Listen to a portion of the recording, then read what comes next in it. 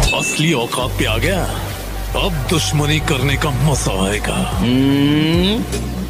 कभी भी किसी का भूलिया देख के उसकी औकात का अंदाज़ा नहीं लगाने का।